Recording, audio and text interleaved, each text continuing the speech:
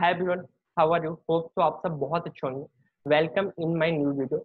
In this video, I will discuss about my own training experience कि मैंने मेरा किस तरीके से PhD में सिलेक्शन हुआ एंड फिर मैंने कहाँ काम किया किस तरीके से काम किया क्या क्या एरियाज़ होते हैं जो काम होता है एंड आपको इंटरव्यू में क्या क्या क्वेश्चन पूछे जा सकते हैं और मेरे से क्या क्या क्वेश्चन पूछे गए थे उस सब के बारे में मैं इस वीडियो में डिस्कस करूँगा आपके साथ फर्स्टली अगर मैं खुद के बारे में बताऊँ तो मेरा सिलेक्शन तीन पब्लिक सेक्टर अंडरटेकिंग में हुआ था as A C M training first national textile corporation of India जो कि लोधी रोड में सिचुएटेड है new Delhi second O N G C Videsh limited O N G C Videsh limited is mini Ratna company it is a subsidy of O N G C वहाँ पे मेरा selection हुआ था and उसका office बसंत कुंज में आप देख सकते हो गूगल पे सर्च करके ओ एन जी सी विदेश बसंत कुंज का।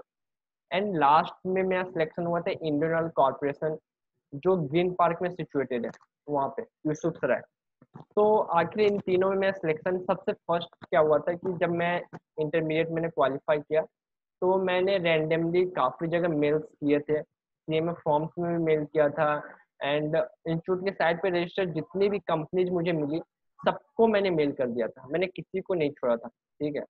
उसके बाद उस टाइम ओएनजीसी विदेश में वैकेंसी आई थी और ओएनजीसी के विदेश की वैकेंसी को ना आपको जाके इंस्टीट्यूट में सबमिट करना था। यानी आप और आप ऑनलाइन मेल करके नहीं कर सकते हो, आपको प्रॉपर फॉर्म उन्होंने दिया था। फिल करो एंड जाके इंस्टीट्यूट में सबमिट करो। तो मैं ओएनजीसी विदेश का फॉर्म गया था इंस्टीट्यूट में सबमिट करके आया था। एंड आफ्टर डेट फिर मैं फ़र्स्ट क्या हुआ कि नेशनल टेक्सटाइल से मेरे पास कॉल आया इंटरव्यू शेड्यूल हो चुका था मेरा। एंड उन्होंने मुझे बुलाया इंटरव्यू के लिए। तो जब मैं नेशनल टेक्सटाइल में गया था इंटरव्यू के लिए तो वहाँ पे अप्रोक्स फिफ्टी स्टूडेंट्स के आसपास थे, जो इंटर्नशिप के लिए इंटरव्यू देने आए थे। तो वहाँ पे जो इंटरव्यू मेरा एक से डेढ़ घंटे बाद मेरा नंबर है इंटरव्यू का, और चार से पाँच मिनट का टाइम ले रहे थे वो पर स्टूडेंट्स के हिसाब से, ठीक है? तो मैम ने फर्स्टली जो वहाँ पे जो मैम थी, जो इंटरव्यू ले रही थी, और एक सर थे, जो शायद वहाँ पे सी थे, और काफ़ी ऊपर दोनों रैंक के थे, ठीक है? और दोनों कॉस्ट अकाउंटेंट थे बाई प्रोफेशन से। तो वहाँ पे क्या हुआ फर्स्टली उन्होंने मैम ने मेरे से पूछा कि आपका इंटरेस्ट किस फ़ील्ड में तो मैंने बोला मैम मेरे को डायरेक्ट टैक्स में काफ़ी इंटरेस्ट है। तो उन्होंने फिर मेरे को डायरेक्ट टैक्स से क्वेश्चन पूछे, जैसे एटीसी के डिडक्शन के बारे में पूछा। सेक्शन टेन के अंदर जो एग्जाम्पन्स आते हैं ना, उनके बारे में उन्होंने रैंडमली पूछा कि सेक्शन टेन के एग्जाम्पन्स में क्या क्या चीज़ें आती है। तो मैंने छः, सात, आठ का नाम उनको बताया कि सेक्शन टेन वन में कौन से एग्जाम्पन है। तो उस समय मुझे सब कुछ याद था तो मैंने सब कुछ मैंने बताया। एंड आफ्टर डेट फिर उन्होंने एटीसी फिर एचआरए के बारे में पूछा था। ये सब कुछ के बारे में बेसिक से क्वेश्चन उन्होंने पूछे। एंड इसके अलावा और क्वेश्चन नहीं पूछा गया वहाँ पे। पाँच से दस मिनट का इंटरव्यू कंडक्ट किया गया था। एंड आफ्टर डेट फिर मैंने जाते समय मैंने एक्चुअली मैंने देखा कि कुछ बच्चों को मैम बोले थे कि रिज्यूम अपना सबमिट कर दो और कुछ को नहीं बोल रही थी। तो उन्होंने मुझे नहीं बोला था। बट फिर भी मैंने मैम से पूछा मैम मुझे अपना रिज्यूम सबमिट करना है? तो उन्होंने बोला, ठीक है, कर दो। फिर मैंने रिज्यूम अलग से मैंने सबमिट किया अपना। Then I think within the one week फिर नेशनल टेक्सटाइल से कॉल आया था कि आपको सिलेक्ट कर लिया गया एज ए सी ट्रेनिंग आप ज्वाइन कर सकते हो कल से आके, ठीक है? और अप्रोक्स सात से आठ बच्चों का ही सिलेक्शन हुआ था नेशनल टेक्सटाइल में। तो हम सात आठ बच्चे गए थे देन फिर वहाँ पे मेरी ट्रेनिंग स्टार्ट हुई। तो वहाँ पे क्या है कि वहाँ पे क्या है, किसी भी कंपनी में जब आप जाओगे तो वेरियस डिपार्टमेंट आता है फाइनेंस के अंदर में। जैसे इनकम टैक्स का डिपार्टमेंट होगा आपका जीएसटी का डिपार्टमेंट हो गया इंटरनल ऑडिट का डिपार्टमेंट हो गया इसके अलावा भी और भी कुछ डिपार्टमेंट्स हो सकते हैं कंपनी टू कंपनी तो मेरा पहले सिलेक्शन हुआ, हमें पाँच से छः दिन तो कोई काम ही नहीं दिया गया। जनरली हम बस जाते थे, वहाँ पे बुक लेके बैठ के पढ़ते थे। एंड आफ्टर डेट फिर जब सीजीएम सर ने फिर एक दिन सारे ट्रेनर्स को बुलाया एंड फिर सबको अलग अलग डिपार्टमेंट देना शुरू कर दिया। तो मुझे इनकम टैक्स का ही डिपार्टमेंट मिला था। मुझे इनकम टैक्स वाले सर के साथ उन्होंने डिपार्टमेंट दे दिया था। तो बेसिकली वहाँ पे ना जब आप किसी भी कॉर्पोरेट में जाओगे तो आपको सारा काम सीखने को नहीं मिलेगा। बिकॉज़ वन ईयर का टाइम होता है तो मैक्सिमम एक से दो काम आप सीख सकते हो इन डिटेल में। बिकॉज़ उनकी क्या होता है कि टर्नओवर कंपनी की काफ़ी बड़ी होती है तो आपको बार बार आपको हर दो महीने में आपका जॉब रोटेशन तो नहीं किया जा सकता है ना? बिकॉज़ आपको चीज़ें फिर से सिखानी पड़ेगी। तो इसलिए उतना ज़्यादा रोटेशन होता नहीं है।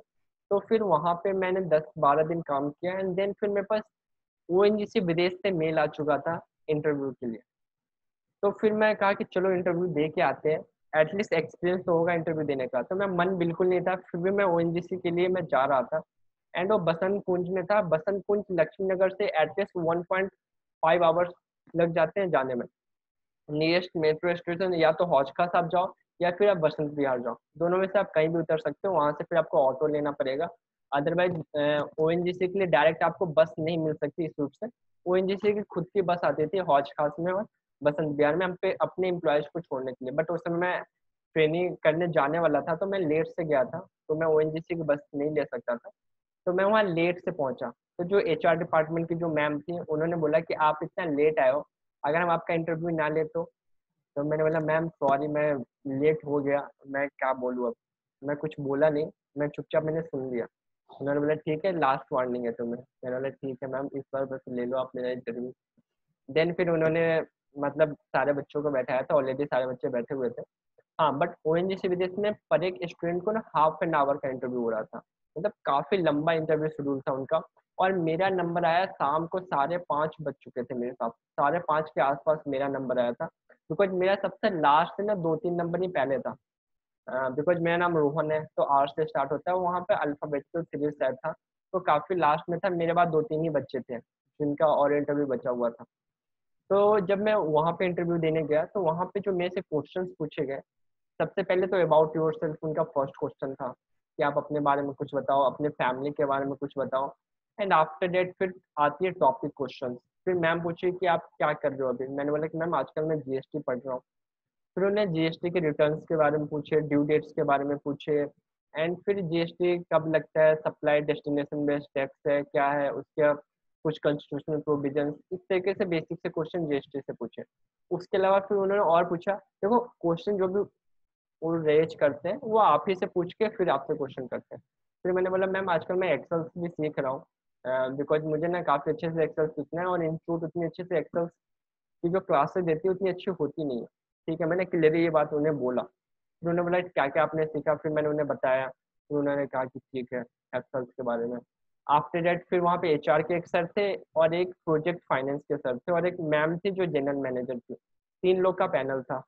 देन फिर उन्होंने एचआर वाले सर से पूछा कि सर आप कुछ क्वेश्चन पूछना चाहते हो? तो उन्होंने फिर मेरे से क्वेश्चन पूछा हाँ सर को मैम ने बैठाया और मैम ने खुद से क्वेश्चन पूछा। मैम ने क्वेश्चन ये पूछा कि सर एचआर के बंदे हैं इनको फाइनेंस के बारे में कोई नॉलेज नहीं है तो आपको इनको बताना है कि हम अकाउंटिंग क्यों करते हैं क्या रीजन है हमें अकाउंटिंग करना पड़ रहा है? अगर हम अकाउंटिंग ना करें तो क्या होगा? फिर मैंने उसको आ, सारा आंसर दिया उनको उस क्वेश्चन का फिर स्टार्टिंग करके कैसे स्टार्ट करूँ? एंड देन आफ्टर डेट उस क्वेश्चन का आंसर मैंने दे दिया अच्छा अच्छे तरीके से मैंने उन्हें समझा दिया था। फिर नेक्स्ट क्वेश्चन फिर उन्होंने मैम ने बगल वाले सर से पूछा, जो प्रोजेक्ट फाइनेंस के सर आप कुछ पूछना चाहते हो? तो उन्होंने नहीं पूछा ऐसे मेरे से क्वेश्चन बेसिकली वो कॉस्टिंग के क्वेश्चन पूछ पूछ रहे थे बाकी बच्चों से। जैसे उन्होंने स्टैंडर्ड कॉस्टिंग मार्जिनल कॉस्टिंग ये सारे क्वेश्चन अदर स्टूडेंट्स से उन्होंने पूछा था। आफ्टर डेट फिर मैम ने, फिर से मैम का नेक्स्ट क्वेश्चन आया कि आप ओ के बारे में क्या जानते हो?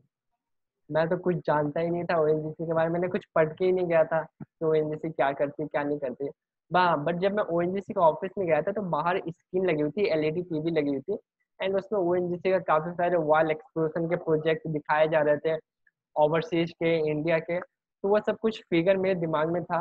तो मैंने बताया कि ओएनजीसी एक पब्लिक सेक्टर अंडरटेकिंग है, इसमें सेंट्रल गवर्नमेंट का मेजोरिटी ऑफ़ शेयर होल्ड है, ठीक है, उसके बाद यहाँ इनके फॉरेन प्रोजेक्ट्स है। ऐसे ऐसे करके मैंने पाँच छः लाइन ओ के बारे में मैंने उनको बताया, ठीक है। देन वो बोली कि चलो ठीक है। फिर आफ्टर डेट मेरा इंटरव्यू ख़त्म हो गया। एंड उसके बाद फिर नेक्स्ट एक वीक के बाद मेरे पास मेल आता है कि आपको ओ विदेश में सिलेक्ट कर लिया गया है। तो क्या आप ज्वाइन करना चाहते हो? मैंने बोला हाँ। तो फिर बोली, मैम, ठीक है, मैं आपको ना मेल फॉरवर्ड कर दूँगी। आपको ऑफ़र लेटर दे दिया जाएगा। फिर मेरे पास उसी दिन ऑफ़र लेटर आ गया था। बिकॉज़ पहले फ़ोन से कंफर्म करते हैं। अगर आप हाँ बोलोगे तो आपको ऑफ़र लेटर मिलेगा। अदरवाइज़ आपको ऑफ़र लेटर नहीं देंगे। ठीक है? देन फिर उनका ऑफ़र लेटर आ गया। अब मैं ओ का ऑफ़िस देख के, उनका इन्वायरमेंट देख के, मुझे ना बहुत ज़्यादा मन कर रहा था कि मैं ओएनजीसी में जाऊँ काम करने। देन मैंने कहा कि नेशनल टेक्सटाइल जबकि मेरे से पास पड़ रहा था, मुझे बहुत ज़्यादा ट्रैवल नहीं करना पड़ रहा था। और one of the important reason है, फिर क्या हुआ? आफ्टर डेट तो वहाँ पे फिर मैंने कहा कि चलो, मैं वहाँ पे जाता हूँ, जबकि मेरे को ट्रैवल बहुत ज़्यादा करना पड़ता है उसके लिए। फिर भी मैं गया वहाँ पे। फिर मैंने वहाँ पे अपनी ट्रेनिंग की। एंड आफ्टर डेट वहीं पे फिर मुझे कुछ टाइम के बाद इंडियन ऑयल में भी वैकेंसी रखी थी। मैंने वहाँ पे भी अप्लाई कर दिया था। वहाँ पे भी अप्लाई किया तो उन्होंने भी इंटरव्यू के लिए बुलाया। मैं वहाँ भी गया इंटरव्यू देने। वहाँ पे इंटरव्यू मेरा बहुत ज़्यादा अच्छा नहीं हुआ as compare to previous two interview तो वहाँ पे मेरा, मुझे लगा नहीं था कि मेरा होगा। बट उसमें इंडियन ऑयल में होता क्या है कि सपोज़ आपका इस टाइम सिलेक्शन नहीं हो गया, कोई बच्चा अगर वहाँ से छोड़ के जा रहा है तो फिर उसके पे आपको कॉल कर लेते हैं। वो पहले पाँच से दस स्टेशन को शॉर्ट लिस्ट कर लेते हैं। वन बाई वन सबको कॉल करते हैं। ठीक है? तो वहाँ पे मुझे तीन से चार, तीन महीने बाद इंडियन ऑयल से कॉल आया कि आप इंडियन ऑयल में ट्रेनिंग करना चाहते हो तो आपको शॉर्ट लिस्ट किया गया है। बिकॉज़ हमारा एक कैंडिडेट जा चुका है तो उसके जगह पे आपको शॉर्ट लिस्ट किया गया। आप करना चाहते हो तो आप आ सकते हो। बट फिर मैं नहीं गया बिकॉज़ मैं फिर मैं जाता तो फिर मैं एक्सपीरियंस में प्रॉब्लम करता। है एंड उसमें एज अ ट्रेनिंग आपको पहले अपनी ट्रेनिंग कंप्लीट करने की ज़रूरत होती है। तो जो इंडियन में मेरे से जो क्वेश्चन पूछे गए थे बेसिकली उनका क्वेश्चन मैंने ऑलरेडी आपको बताया है कि एक्सल्स के क्वेश्चन ज़्यादा होते हैं। सपोज़ जैसे बी लुकअप हो गया एच लुकअप हो गया, आपको प्रॉपर एक्सेल दी भी जा सकती है, उस पर काम भी करवाया जा सकता है आपको चेक करने के लिए। उसके अलावा एक आर शीट देते हैं जिसमें एम सी क्यू पंद्रह से बीस क्वेश्चन होते हैं सारे क्वेश्चन एक्सेल के फॉर्मूला से रिलेटेड होते हैं शॉर्ट कॉट से रिलेटेड होते हैं, ठीक है? तो उससे रिलेटेड सारे क्वेश्चन थे, उसके अलावा इंटरव्यू में बेसिक से क्वेश्चन पूछे जाते हैं। नॉर्मली जैसे बाकी इंटरव्यू में क्वेश्चन पूछे गए। तो इन सब के बाद आपको हाँ वहाँ पे मोस्ट इम्पोर्टेंट जो 55 परसेंट का क्राइटेरिया है, उसके बारे में, जो कि मैंने ऑलरेडी इंडियन ऑयल के बारे में मैंने एक डिटेल वीडियो बना रखी है तो आप उसका प्रेफर कर सकते हो, अगर आपको डिटेल देखना है। आफ्टर डेट अब मैं ये बताना चाहता हूँ कि आपको क्या क्या एरिया है जहाँ पे आपको पढ़ के आपको जाना चाहिए जब आप इंटरव्यू देने जाते हो। तो देखो, बहुत ज़्यादा आपको चीज़ों को डीपली नहीं पढ़ना है। बिकॉज़ इंटरव्यू में आपसे डीपली क्वेश्चन नहीं पूछे जाते हैं इंटरव्यू में आपसे बेसिक से क्वेश्चन पूछे जाते हैं। और प्रॉब्लम्स क्या होता है? बच्चों को बेसिक्स की नॉलेज नहीं होती एडवांस का नॉलेज है आपको, लेकिन आपको बेसिक्स नहीं पूछे जाते। मतलब बेसिक्स की आपकी नॉलेज नहीं होती। जैसे मैंने फाइनल लेवल पे भी देखा है कि गोल्डन रूल्स ऑफ़ अकाउंटिंग पूछ लिया जाता है। आप सी में क्वालिफाई हो, कोई स्टूडेंट ये एक्सपेक्ट नहीं करता है कि उससे गोल्डन रूल्स ऑफ़ अकाउंटिंग पूछ लिया जाए। डेबिट क्रेडिट के रूल्स पूछ लिया जाए तो बेसिक बेसिक से क्वेश्चन पूछे जाते हैं। नॉमिनल अकाउंट रियल अकाउंट ये सारे क्वेश्चन पूछे जाते हैं। तो आपको ना बहुत ज़्यादा कुछ नहीं पढ़ना है। बस आप basic concept of cost accounting पढ़ लो कि टाइप्स ऑफ़ कॉस्ट अकाउंटिंग क्या है मेथड क्या क्या है मार्जिनल कॉस्टिंग किसको बोलते हैं बजटिंग किसको बोलते हैं। इस तरीके सारे जो भी आपके चैप्टर्स हैं, उसके बेसिक अंडरस्टैंडिंग आपको बस होनी चाहिए। उसको एक बार रिकॉल कर लो। उसके अलावा अगर इनकम टैक्स में मोस्ट इंपॉर्टेंट जैसे एग्जेम्पन के सेक्शन है कैपिटल गेन में सेक्शन 54 के बहुत सारे एग्जेम्पन है, आप उनको देख लो। उसका डिडक्शन के सेक्शन 80 से 80 जो भी आपका चैप्टर सिक्स ए है, उसके सारे डिडक्शन आप देख लो। इसके अलावा जैसे टाइम टू टाइम जो अमेंडमेंट्स आते हैं लाइक कंपनीज़ के लिए टैक्स रेट्स हो गया सरचार्ज हो गया सैस हो गए, ये सब कुछ आप इम्पोर्टेंट कॉन्सेप्ट है जो इंटरव्यू में पूछे जाते हैं। तो आप इन सबको आप पढ़ लो। जीएसटी में भी सेम लाइक जीएसटी की most important place of supply से क्वेश्चन आता है या फिर टाइम ऑफ़ सप्लाई से क्वेश्चन पूछा जाता है। एंड जीएसटी के रिटर्न के क्वेश्चन पूछे जाते हैं।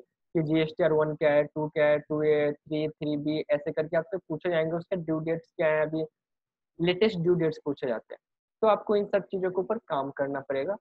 एंड इसके अलावा मैं आपको जैसे बहुत सारे स्टूडेंट्स ये पूछते हैं कि, सर, मैं क्या क्या काम वहाँ करने को मिल सकता है?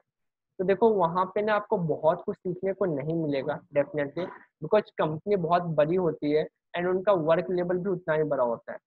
तो इसलिए आपको हर एक डिपार्टमेंट का काम सिखाया नहीं जा सकता है। आपको एक पार्टिकुलर डिपार्टमेंट का काम सिखाया जाएगा और वो आप, उसमें आप प्रोफेशनलिस्ट हो सकते हो। आप हर एक फ़ील्ड में आप प्रोफेशनलिस्ट नहीं हो सकते। जैसे मेरे केस में जब ओएनजीसी विदेश में था तो वहाँ पे प्रोजेक्ट फाइनेंस था और प्रोजेक्ट फाइनेंस खुद अपने आप में एक बहुत बड़ा डिपार्टमेंट था। बिकॉज़ उनका रसिया का अलग प्रोजेक्ट चल रहा था, उनका सुडाउन हो गया, उसके बाद ईरान हो गया, वो सारे अलग ही प्रोजेक्ट थे। इसके अलावा ब्राज़ील का प्रोजेक्ट था, बिकॉज़ वो वर्ल्ड बाहर अलग अलग कंट्रीज़ से इंडिया में लेके आने का उनका वर्क था। तो मुझे उन्होंने जो दिया था, वो रसिया ब्लॉक दिया था। तो रसिया से रिलेटेड जितने भी काम आते थे, वो उससे रिलेटेड मैं करता था और बाकी ट्रेनिज को अलग अलग ब्लॉक मिला था। किसी को ब्राज़ील मिला, किसी को सूडान मिला था। एंड इसके अलावा जो कुछ स्टूडेंट थे, तीन चार स्टूडेंट को नीचे उन्होंने प्रोजेक्ट फाइनेंस में ले लिया सॉरी कॉर्पोरेट कॉर्पोरेट अकाउंटिंग में लिया था। जहाँ पे वो कंपनी के annual report balance sheets company के जो भी लेजर्स होते हैं, उसको स्क्रूटनी करना, उसको चेक करना, उन सबसे रिलेटेड वाउचिंग वेरिफिकेशन का काम था उनका, ठीक है? तो हर एक पर्सन को अलग अलग काम दिया जाता है, आपको हर एक काम नहीं सिखाया जाएगा। तो आप हाँ अगर आप छोटे फॉर्म को ज्वाइन करोगे तो आपको बहुत काम सीखने को मिल सकता है, लेकिन कॉर्पोरेट में आपको बहुत काम सीखने को नहीं मिलेगा। बट उसका बहुत ज़्यादा इम्पैक्ट नहीं होता है इन फ्यूचर बिकॉज़ आप आफ्टर क्वालिफाई कहीं काम करने जाओगे तो भी आपको ट्रेनिंग देते हैं, ऐसे नहीं आपको डायरेक्ट कोई काम दिया जाएगा, आपको वहाँ भी ट्रेन कराया जाएगा तो उसका कोई इम्पैक्ट नहीं है। हाँ बट जिनको प्रैक्टिस में आना है फ्यूचर में, वो फॉर्म ज्वाइन कर सकते हैं, वो कॉर्पोरेट के लिए नहीं जाएँगे तो कोई प्रॉब्लम नहीं है। हाँ लेकिन जिनको फ्यूचर में भी जॉब करना है तो उनके लिए फॉर्म में ट्रेनिंग करना उतना ज़्यादा मुझे ये नहीं लगता कि बहुत ज़्यादा आपको इम्पैक्ट करेगा अगर आप कॉर्पोरेट में ट्रेनिंग करते हो। कॉर्पोरेट में आपको जॉब का ही जस्ट लाइक एक फील मतलब फील होता है कि हाँ आप किसी कंपनी में नाइन टू सिक्स की आप जॉब कर रहे हो, आराम से अपने लाइफ को रिलैक्स कर रहे हो सेम लाइक फीलिंग ये होता है। फॉर्म में क्या होता है ऑफ़िस टाइमिंग नौ से छः होता है, लेकिन सात आठ भी बज जाते हैं रिटर्न फाइलिंग के टाइम में ऑडिट पे हो तो बाहर ही हो एक सप्ताह के लिए। तो प्रॉपर आपको एक फीलिंग दिया जाएगा कि जहाँ पे आप एक एज ए एंटरप्रेनर हो, आप खुद के पार्टनरशिप फॉर्म में या खुद की आपकी सोल प्रोवाइडरशिप फॉर्म में, आपको वो वाली फीलिंग आएगी जब आप किसी फॉर्म में काम करोगे। ठीक है? तो दोनों के एक्सपीरियंस अलग अलग है। आपका फ्यूचर इंटरेस्ट किसमें है? उसके अकॉर्डिंग आप ज्वाइन कर सकते हो। मैंने कम्प्लीटली डिस्कस कर दी about my training experience and all things क्या क्या क्वेश्चन पूछे जा सकते हैं। तो होप तो आपको इस वीडियो में काफ़ी सारी इन्फॉर्मेशन मिली हो। Bye take care best of luck